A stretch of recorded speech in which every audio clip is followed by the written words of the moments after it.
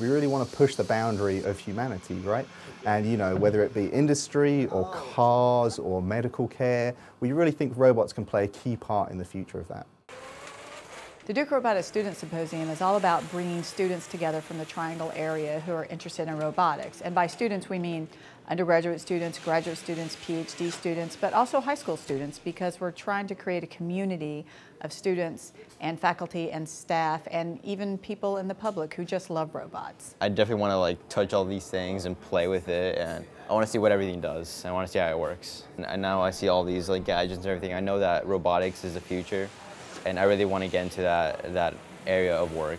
At Duke Robotics, we have robots that range anywhere from this crawling robot that theoretically will crawl across Mars one day to drones that fly in buildings, outside of buildings. So I'm not touching anything right now. This drone is completely autonomous. I want people to see a map of the room and they can click and add different uh, positions in the room that the drone should go through and then the drone, once they, once the person just clicks on a button, the drone will then follow through with the, the path. It'll be all hands-free.